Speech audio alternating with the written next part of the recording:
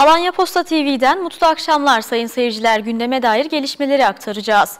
Alanya Ticaret ve Sanayi Odası Başkanı Mehmet Şahin öncülüğünde Esnaf Odası Başkanları Antalya Valisi Ersin Yazıcı ve Alanya Kaymakamı Fatih Hürkmezer'le görüşerek Alanya esnafının taleplerini iletti. Başkan Şahin ayrıca Dışişleri Bakanımız Mevlüt Çavuşoğlu'nu da telefonla arayarak esnafın talepleri konusunda bilgi verdi. Toplantıda Alanya'da bazı restoran işletmeleri otellerle anlaşma yaparak 19'dan sonra da misafir ağırlamaya devam ederken Kaymakam Ürkmezer duruma el attı. Haksız rekabet oluşturup pandemi kurallarını hiçe sayan işletmeler sıkı takip altına alınıyor. Tüm Türkiye'de normalleşme sürecine geçilmesinin ardından restoran ve kafelerde işletmelerinde müşteri ağırlamaya başladı. Saat 7'den 19'a kadar hizmet verebilen restoranlar bu saatler haricinde paket servisle faaliyetlerine devam ettiriyorlar. Ancak Alanya'da bazı yeme içme sektörüne hizmet veren işletme sahipleri otellerle anlaşma yaparak saat 19'dan sonra da müşteri almaya devam ediyor. Haksız rekabetin yaşanıldığı sürece engel olabilmek için Alanya'da faaliyet gösteren odaların başkanları Alanya Kaymakamı Fatih Hükmezer'in başkanlığında bir toplantı gerçekleştirdi. Nasıl gidiyor? Geçen hafta toplantı yaptınız başkanım.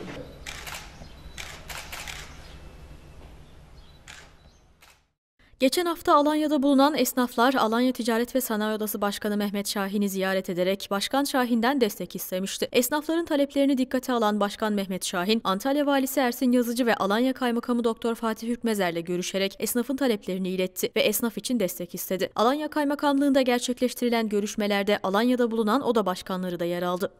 Bugün esnaflar için gerçekleştirilen görüşmeleri değerlendiren Başkan Şahin, Cumhurbaşkanlığı bisiklet turu için Alanya'mıza gelen Antalya Valisi Ersin Yazıcı ve Alanya Kaymakamımız Doktor Fatih Hürkmezer'e talepleri oda başkanlarımızla ilettik, desteklerini istedik dedi. Oda başkanı arkadaşlarımla birlikte e, kaymakamımızı ziyaret ettik. Geçen hafta esnaflarımızla yaptığımız toplantının sonucundan özetleri çıkartmıştık zaten. Arkadaşlarımızla birlikte kaymakamımıza sorunları ilettik. Ee, ben dün ayrıca Dışişleri Bakanımızla da arkadaşlarımız adına e, görüşme yaptım esnafın sorunları ile ilgili. Şimdi inşallah Vali Bey de gelecek. Bugün hem bisiklet finish için Vali Kaymakam Bey tekrar toplantı yapacağız. Esnafın e, hafta sonu kapanmaları ile ilgili ama maalesef durum vahim gözüküyor. Bize verilen bilgiler e, çok iç açıcı değil. Belki tam kapamanın da gelebileceği hazırlıklarını yapın mesajlarını aldık. İnşallah öğleden sonra valimizle de görüşmeden sonra tekrar e, kamuoyunu bilgilendireceğiz. Ben oda başkanı arkadaşlarıma dayanışma için teşekkür ediyorum. Biz omuz omuza verdik. Esnafımızın sorunlarını dile getiriyoruz. Ama tabii insan sağlığı da o kadar önemli. Onun da bilincindeyiz. İnşallah hayırlı bir sonuç çıkarmaya çalışacağız. Teşekkür ederim. Alanya Lokantacılar Odası Başkanı Hüseyin Değirmenci haksız rekabetin önüne geçilebileceğini vurgulayarak bu işletmeler için sıkı denetim geliyor dedi. Değirmenci otelle anlaşma yapıp otelin restoranı gibi çalışan bazı işletmeler olduğunun duyumlarını aldık. Bunu Kaymakam Bey'e de ilettik ve bugün itibarıyla Kaymakam Bey'le yapmış olduğumuz toplantı sonucunda almış olduğumuz kararlar doğrultusunda bu suistimallere izin vermemek adına bu işi yapan işletmelerle ilgili sıkı takibe giriyoruz dedi esnafa vermiş olduğu değeri, şimdiye kadarki sıkıntılarda her zaman esnafın yanında olduğunu ve bundan sonra olmaya devam edeceğini, yine krediler Antalya Büyükşehir Belediye Meclisi Nisan ayı olan toplantısı Büyükşehir Belediye Başkanı Muhittin Böcek başkanlığında yapılırken Millet İttifakı'nın ağırlıkta olduğu mecliste Abdurrahman Yılmaz başkan vekili olarak Cumhur İttifakı'ndan seçildi. Divan Katibi Meclis Başkan Vekili, encümen ve komisyon üyelerinin belirlendiği toplantıda Antalya Büyükşehir Belediyesi'nin 2020 yılı faaliyet raporu da kabul edildi. Başkan Vekili için Abdurrahman Yılmaz'ı biz de önermiyoruz. Abdurrahman Yılmaz'ı öneriyoruz, ikinci Başkan Vekili için önermiyoruz. Antalya Büyükşehir Belediye Başkanı Muhittin Böcek, koronavirüs tedavisinin ardından 251 gün sonra ilk kez meclis toplantısında başkanlık koltuğuna oturdu. Büyükşehir'in 2020 yılı faaliyet raporu oy birliğiyle kabul edildiği mecliste şok eden gelişme ise Millet İttifakı'nın çoğunluğa sahip olduğu mecliste Meclis Başkan Vekilliğine 48 oy alan AK Parti Meclis Üyesi Abdurrahman Yılmaz seçildi. Önceki Başkan Vekili Deniz Dil ise 46 oy aldı. Oylamaya 101 meclis üyesi katılırken 7 oy boş ve geçersiz çıktı. Millet Millet İttifakı'nın tam kadro katılmadığı oylamada boş oyların Demokratik Sol Parti'ye ait olduğu değerlendirilmekte. Abdurrahman'cığım yürüyüşün bile değişti ha. Vallahi arkadaşlar şuradan bir çıkışı vardı meclisten. Abdurrahman'ın yürüyüşü böyle değildi. Mecliste gizli oylama usulüyle Meclis Divan Katipliğine Cumhuriyet Halk Partili Büşra Özdemir'le İyi Partili Kerem Kaya Turan, encümen üyeliğine ise Mesut Kocagöz, Büşra Özdemir, Ali Polat, Şerafettin Özer, Mehmet Cengiz Büyükgebiz, Alper Birer, Emin Bal, Orhan Avcı, Kemal Kara, Süleyman Uğurlu seçildi. Plan Bütçe Komisyonu'na Gazi Paşalı Zafer Tanda seçilirken İmar ve Bayındırlık Komisyonu'nda Erkan Demirci ile birlikte böceğin rahatsızlığı döneminde başkan vekilliği yapan Mehmet Hacı Arifoğlu'nun da seçilmesi dikkat çekti. Mecliste 2020 yılı faaliyet raporu da kabul edildi. Sayın Mesut Kocagöz 53, Mehmet Cengiz Büyükgebiz 53, Büşra Özdemir 52, Şerafettin Özer 51.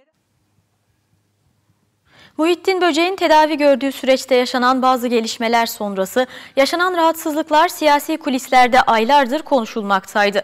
Son olarak Böceğin Ankara'da yaptığı genel merkez ziyaretinin hemen ardından Cumhuriyet Halk Partisi Genel Merkezi'nin kararıyla İl Başkanı Nusret Bayar parti çalışma kurallarına aykırı hareket ettiği gerekçesiyle görevden alındı. Karar il merkezine tebliğ edilirken yönetim kurulunun istifa etmeyerek yeni il başkanını yönetim içinden seçmesi bekleniyor. 19 ilçesi hepsi birbirinden önemli ilçelerimiz.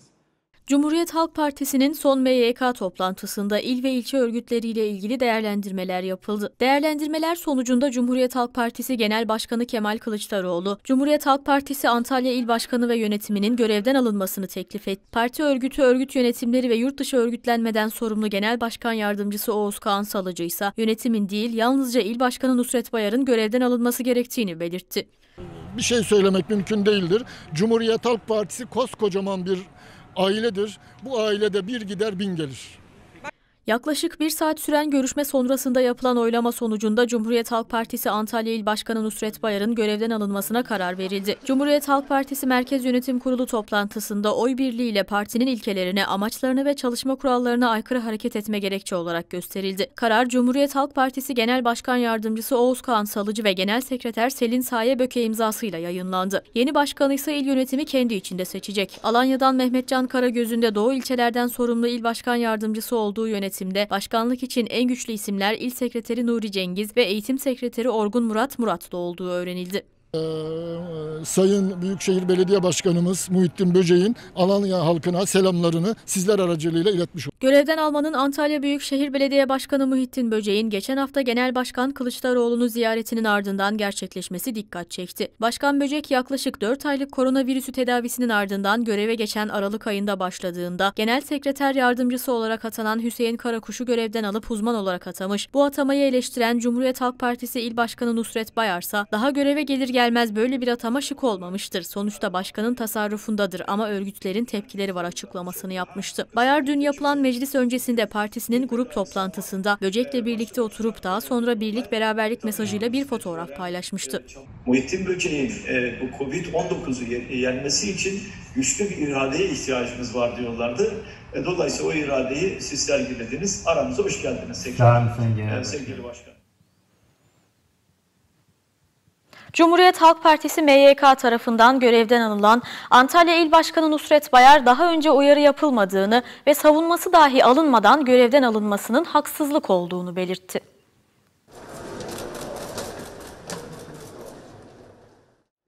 Görevden alınan Nusret Bayar yaptığı yazılı açıklamada özetle şu ifadeleri kullandı. Yıllardır emeğin, hukukun ve halkın savunucusu olduğuna inanarak özveriyle hizmet ettiğim partimin Merkez Yönetim Kurulu'nun hakkımda aldığı kararı hayret ve üzüntüyle öğrendim. 1987'den bu yana çeşitli kademelerde hizmet ettiğim Cumhuriyet Halk Partisi'ne 9 Şubat 2020 tarihinde yapılan il kongremizde örgütümün desteğiyle Antalya İl Başkanı seçildim. O günden bu yana il yönetim kurulu üyesi arkadaşlarım ve tüm ilçe başkanlarımızla tam bir uyum, görüş ve kader birliği içinde çalıştık. Bunca emeğimin karşılığında en küçük bir yazılı ya da sözlü uyarı almadan, hiçbir olayla ilgili sorgulanmadan ve hiçbir iddia ile ilgili savunmam alınmadan parti ilkelerine, amaçlarına ve çalışma ilkelerine aykırı hareket ettiğim gerekçesiyle görevden alınmam, anlamak ve açıklamakta güçlük çektiğim büyük bir haksızlıktır. Bir takım çevrelerin haksız, hukuksuz beklentileri doğrultusunda almış olduğu bu karar parti kamuoyunun vicdanını zedelemiştir. Hukuk her yerde ve herkes için hukuk diyerek sitem dolu bir mesaj yayınladı.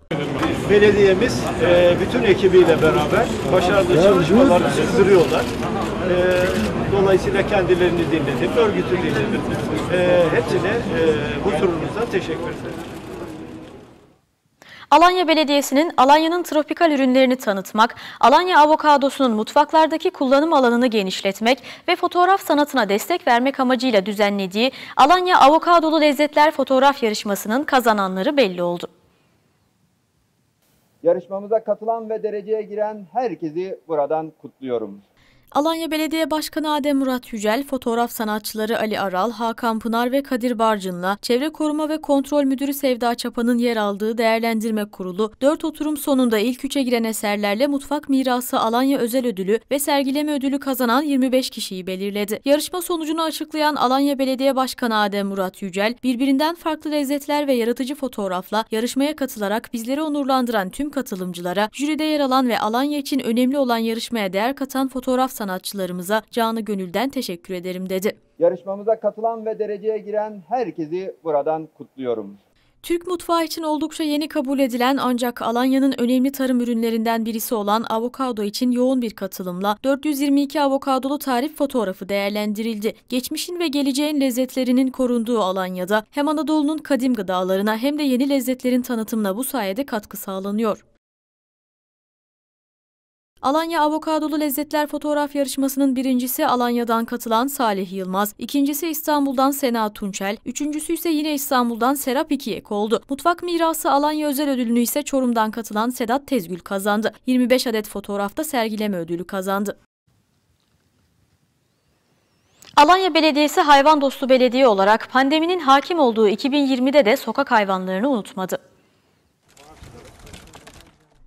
Alanya Belediyesi Veteriner İşleri Müdürlüğü hem yaralı sokak hayvanlarıyla doğada yaşayan hayvanların bakım ve tedavisini yapıyor hem de özellikle pandemi nedeniyle beslenme anlamında etkilenen sokak hayvanlarının yiyecek ihtiyacını karşılıyor. Belediye Veteriner İşleri Müdürlüğü 2020'de Milli Eğitimle yapılan protokol çevresinde okul bölgelerine ve parklara 100 kedi evi yerleştirip mevcut kedi evleri ve parklarsa yenilendi. Gönüllülerin de desteğiyle hayvanlar beslenirken belediye tarafından 30 ton et ve tavuk ürünü toplanıp dağıtıldı. Veterinerlik hizmeti sadece kedi evi ve yiyecek desteğiyle sınırlı kalmayarak Konaklı, Toslak, Mahmutların da aralarında olduğu 11 mahalleyle Akseki'de kısırlaştırma yapıldı.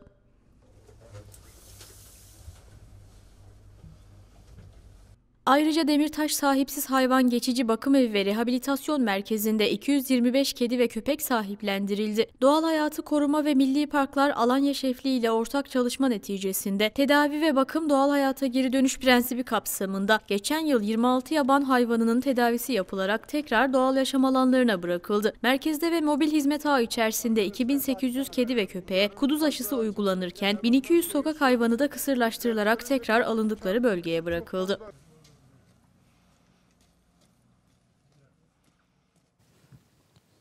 Antalya'ya has tavşan yüreği zeytini üreten ve ticaretini yapan iki firma, ürün ambalajlarında Antalya Ticaret Borsası tarafından Türk patentten alınan Antalya tavşan yüreği zeytini coğrafi işaret logosunu kullanacak. Satış için yetkili olan iki üreticiden biri Gazi Paşa'da zeytin ve zeytinyağı tesisi bulunan Zafer Tan.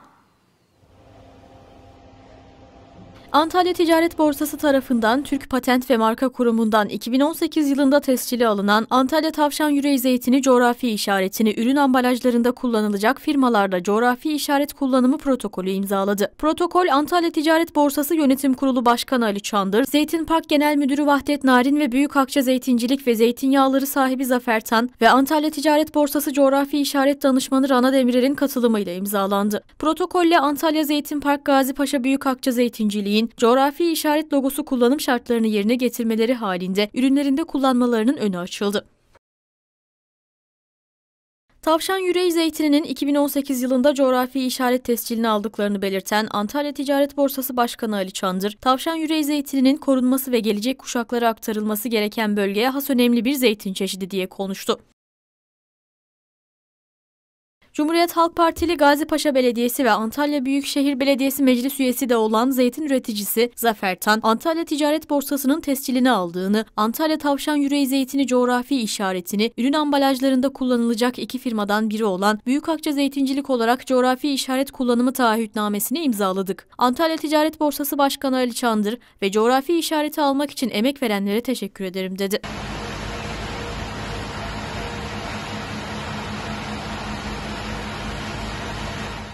Antalya Büyükşehir Belediyesi, Alanya Konaklı Arıtma Tesisinde başlattığı iyileştirme ve rehabilitasyon çalışmasıyla kapasitesini iki katına çıkarıyor. Yaklaşık 13 milyon liraya mal olması beklenen yatırımın bu ay içinde tamamlanması hedefleniyor.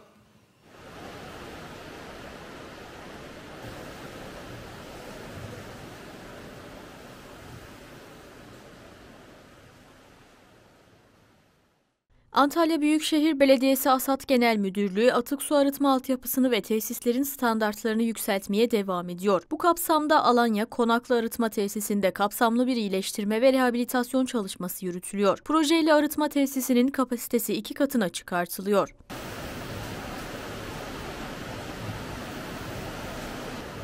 Alanya'nın batısındaki mesken ve turizm tesislerine atık su arıtma hizmeti sunan Konaklı Atık Su Arıtma Tesisinde iyileştirmelerle birlikte muhtelif yerlerde atık su altyapısı basınç hatları yapım işi de sürdürülüyor. Yaklaşık olarak 13 milyon TL'ye mal olması beklenen çalışmanın bu ay içinde tamamlanması planlanıyor.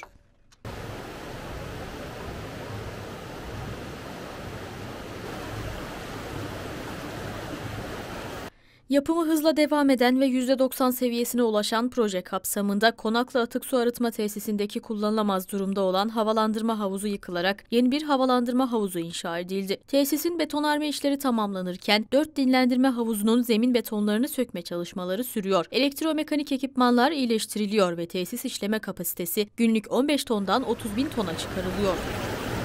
Bakanlar Kurulu toplantısı sonucu açıklama yapan Cumhurbaşkanı Recep Tayyip Erdoğan iki hafta boyunca kısmi kapanma uygulanacak dedi. Hafta sonu sokağa çıkma kısıtlaması devam edecek. Hafta içinde ise saat 19'dan itibaren sokağa çıkmak yasak. Ayrıca şehirler arası seyahat yasağı da dahil yeni tedbirler geldi. Ve bültenimizin sonuna geldik. Ben Özlem Kaygusuz. İyi iftarlar. Tekrar görüşmek dileğiyle. Hoşçakalın.